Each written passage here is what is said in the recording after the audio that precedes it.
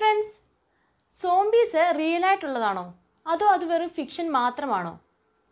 പ്രേത സിനിമകളും ഡ്രാക്കുളയുടെ സ്റ്റോറീസും ഒക്കെ കഴിഞ്ഞ് നമ്മളെ പിന്നെ ഒരുപാട് പേടിപ്പിച്ചിട്ടുള്ളൊരു സംഭവമാണ് സോംബീസ് അല്ലെങ്കിൽ സോംബീസിന്റെ മൂവീസ് എന്നൊക്കെ പറഞ്ഞാൽ ഈ സോംബീസിനെ പറ്റി അറിയണമെങ്കിൽ അതായത് സോംബീസിന്റെ സ്റ്റോറി എങ്ങനെ വന്നു എന്ന് അറിയണമെങ്കിൽ ഹെയ്ത്തി എന്ന് പറയുന്ന ഗ്രാമത്തെ പറ്റി നമ്മൾ അറിയണം.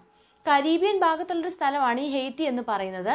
പണ്ട് ആഫ്രിക്കയിൽ നിന്നുള്ള ആൾക്കാർ കരിമ്പ് കൃഷിക്കും മറ്റ് ചെറിയ ചെറിയ കൃഷിപ്പണികൾക്കൊക്കെ ആയിട്ട് കുടിയേറി പാർത്തൊരു സ്ഥലമായിരുന്നു ഈ ഹെയ്ത്തി എന്ന് പറയുന്നത്. സോ അവരുടെ സംസ്കാരം എന്ന് പറയുന്നത് വെസ്റ്റേൺ ആഫ്രിക്കൻ കൾച്ചറുമായിട്ട് ഭയങ്കര സാമ്യമുള്ള ഒരു കൾച്ചറായിരുന്നു. അല്ല സംസ്കാരമായിരുന്നു അവരുടേത്. ഈ വെസ്റ്റേൺ ആഫ്രിക്കൻ കൾച്ചറിൽ ദുർമന്ത്രവാദങ്ങളും ദുരാചാരങ്ങളും നെഗറ്റീവ് എനർജിയെ വർഷിപ്പിക്കലും ഒക്കെ ആയിരുന്നു കൂടുതലായിട്ട് ഉണ്ടായിരുന്നത്. ഈ ഹെയ്ത്തിയിൽ സംസാരിച്ചുകൊണ്ടിരുന്ന ഭാഷയിൽ നിന്നാണ് ശരിക്കും പറഞ്ഞ സോംബി എന്ന വാക്ക് വന്നത്. ഹെയ്ത്തിയിലെ ഭാഷ വെച്ച് സോംബി എന്ന വാക്കിന്റെ അർത്ഥം എന്ന് പറഞ്ഞാൽ മന്ത്രങ്ങൾ കൊണ്ട് ചലിക്കുന്നത് എന്നായിരുന്നു.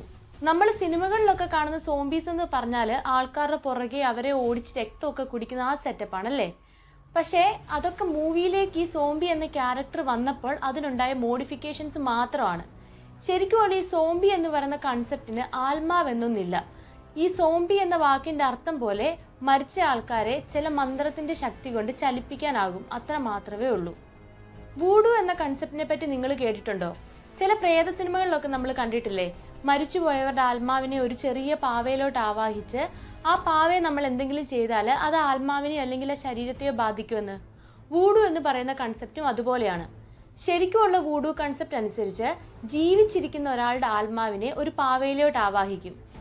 ഒരു കുറേ മന്ത്രത്തിന്റെയൊക്കെ ശക്തി കൊണ്ട്. അപ്പം നമ്മൾ ആ പാവ ഇപ്പം എന്തെങ്കിലും ചെയ്യുകയാണെങ്കിൽ ആരുടെ ആത്മാവിനെയാണോ നമ്മൾ പാവയിലോട്ട് ആവാഹിച്ചത് അവരുടെ ശരീരത്തെ അത് ബാധിക്കും. ഇതാണ് ശരിക്കുമുള്ള വൂഡു കൺസെപ്റ്റ് ഇത് ഇത് വെച്ചിട്ട് അതായത് ഇങ്ങനെ ആവാഹിച്ച് ആൾക്കാരെ അടിമകളാക്കി ജോലി ചെയ്യിക്കലായിരുന്നു ഇവരുടെ മെയിൻ രീതി എന്ന് പറഞ്ഞാൽ അതുപോലെ തന്നെ ഈ വൂഡു കൺസെപ്റ്റ് വെച്ച് മരിച്ചുപോയ ആൾക്കാരെ പുനർജീവിപ്പിക്കാൻ സാധിക്കുമെന്നാണ് ആഫ്രിക്കൻ മിത്തോളജി പറയുന്നത്. ഇങ്ങനെ പുനർജീവിച്ച് വരുന്ന ആൾക്കാരുടെ ആത്മാവെന്ന് പറയുന്നത് നേരത്തെ ഉണ്ടായിരുന്ന ആളുടെ സെയിം ആത്മാവ് തന്നെ ആവണമെന്നൊന്നുമില്ല എന്നാണ് പറയപ്പെടുന്നത്. അതുപോലെ തന്നെ അവർ നടക്കുന്നതും ചലിക്കുന്നതും എല്ലാം ചില മന്ത്രങ്ങളുടെ ഹെൽപ്പോടുകൂടി ആയിരിക്കും. അങ്ങനെ പുനർജീവിച്ച് വരുന്ന ആൾക്കാരെയാണ് അവർ സോംബീസ് എന്ന് സാധാരണയായി വിളിച്ചിരുന്നത്. ടെട്രാഡോട്ടോക്സിൻ എന്നൊരു പോയിസനെ പറ്റി നിങ്ങൾ കേട്ടിട്ടുണ്ടോ? പവർ ഫിഷിന്റെയും ഗ്ലോ ഫിഷിന്റെയും ലിവറിൽ നിന്നും മറ്റ് ശരീരഭാഗങ്ങളിൽ നിന്നും ഒക്കെ ഉണ്ടാകുന്ന ഒരു പോയിസൺ ആണ്. ഇത് ഡെഡ് ബോഡീസിന്റെ ദേഹത്ത് ഇഞ്ചെക്ട് ചെയ്താൽ അവർ എഴുന്നേറ്റ് സോംബീസ് ആയി മാറും എന്നും പറയപ്പെടുന്നുണ്ട്. ഇതിനെപ്പറ്റി ഒരുപാട് കഥകളൊക്കെ പ്രചരിക്കുന്നുണ്ട്. അതിൽ നമ്മൾ കേട്ടിട്ടുള്ളൊരു കഥയാണ്.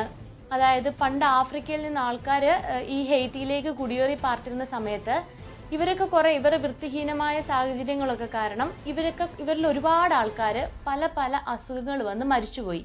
അങ്ങനെ ജോലിക്ക് ആൾക്കാരെ കിട്ടാണ്ടായപ്പോൾ ഇവരുടെ ദുർമന്ത്രവാദങ്ങളും ദുരാചാരങ്ങളും ഒക്കെ കൊണ്ട് ഈ മരിച്ചുപോയ ആൾക്കാരെ ഇവർ പുനർജീവിപ്പിച്ചു അടിമകളാക്കി ജോലി ചെയ്യിച്ചു എന്ന്.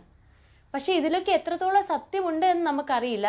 കുറേ ആൾക്കാർ ഇതിനെപ്പറ്റി പഠിച്ചിട്ടുണ്ട്. കുറേ ആൾക്കാർ ഈ കാര്യങ്ങളൊക്കെ സത്യമാണ്. സോംബീസ് ഉണ്ടായിരുന്നു എന്നൊക്കെ തെളിയിച്ചിട്ടുമുണ്ട്. പക്ഷേ ഇതിന്ന് സയന്റിഫിക്കലായിട്ട് ഒരു പ്രൂഫും തരാൻ ആർക്കും ഇതുവരെ സാധിച്ചിട്ടില്ല. അതുപോലെ തന്നെ നടന്ന ഒരു സംഭവമായിരുന്നു ആയിരത്തി തൊള്ളായിരത്തി എൺപത്തി രണ്ടിൽ ഹെയ്ത്തിയിൽ ഏഞ്ചലീന എന്ന് പറയുന്ന ഒരു സ്ത്രീ പച്ചക്കറി വാങ്ങിച്ചുകൊണ്ട് നിൽക്കുകയായിരുന്നു. ആ സമയത്ത് അവരുടെ ബാക്കിൽ ഒരാൾ വന്നു നിന്നു. ഏഞ്ചലീന തിരിഞ്ഞു നോക്കിയപ്പോൾ അയാൾ ഏഞ്ചലീനെ പേരെടുത്ത് ഏഞ്ചലീന എന്ന് വിളിച്ചു. ഏഞ്ചലീന നോക്കിയപ്പോൾ നല്ല കണ്ട് പരിചയമുള്ള ഫേസ് ഒക്കെയാണ്. അപ്പോൾ ഏഞ്ചലീനയോട് ഇയാൾ പറഞ്ഞു പണ്ട് ഏഞ്ചലീന്റെ ഒരു സഹോദരൻ മരിച്ചു പോയിരുന്നു അപ്പം ഞാൻ ആ സഹോദരനാണ് എന്ന് ഈ മനുഷ്യൻ ഏഞ്ചലീനയോട് പറഞ്ഞു.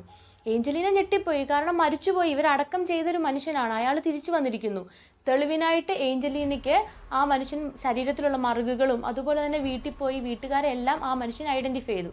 ആ മനുഷ്യന്റെ പേര് ക്ലാർവിയസ് എന്നായിരുന്നു. അപ്പം ക്ലാർവിയസ് ഇവരോട് പറഞ്ഞതെന്ന് പറഞ്ഞാൽ ഇവർ ക്ലാർവിയസിനെ അടക്കം ചെയ്തു പോയതിന് ശേഷം കുറച്ച് വൂഡു മന്ത്രവാദികൾ വന്ന് ക്ലാർവിയസിന്റെ ശവം തോണ്ടിയെടുത്ത് ക്ലാർവിയസിനെ ഒരു സോംബിയാക്കി മാറ്റി അടിമവേല ഇത്രയും കാലം ചെയ്യിക്കുകയായിരുന്നു എന്നാണ് ക്ലാർവിയസ് ഇവരോടെല്ലാം പറഞ്ഞത്. അന്ന് അത് ഭയങ്കര ന്യൂസ് ഒക്കെ ആയിരുന്നു. കുറെ ആൾക്കാരെ ഇതിനെപ്പറ്റി പഠിക്കാനൊക്കെ ആയിട്ട് വന്നു.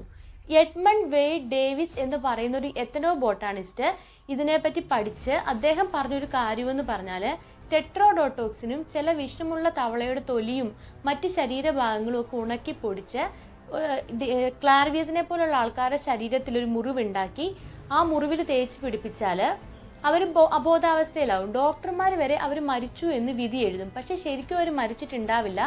മരിച്ചു എന്ന് കരുതി കുഴിച്ചിട്ട ശവശരീരം ഈ വൂഡു മന്ത്രവാദികളൊക്കെ കുഴിച്ചെടുത്ത് ഇതിന് മറുമരുന്ന് ഉണ്ടാവുമല്ലോ ആ മറുമരുന്ന് പെരട്ടി. അതുപോലെ തന്നെ ചില മന്ത്രവാദത്തിലൂടെ ഇവരെ അടിമകളാക്കി വെക്കുകയായിരുന്നു.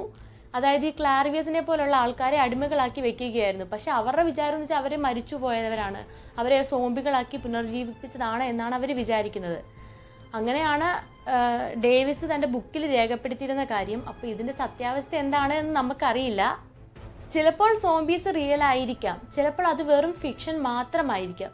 എന്തായാലും ഭാവിയിൽ ഈ സോംബീസിനെ പോലുള്ളതിനെയൊക്കെ ക്രിയേറ്റ് ചെയ്ത് നമുക്ക് നേരെ ഒരു ബയോ വെപ്പണായിട്ട് ആരും യൂസ് ചെയ്യാതിരിക്കട്ടെ എന്ന് നമുക്ക് പ്രാർത്ഥിക്കാം.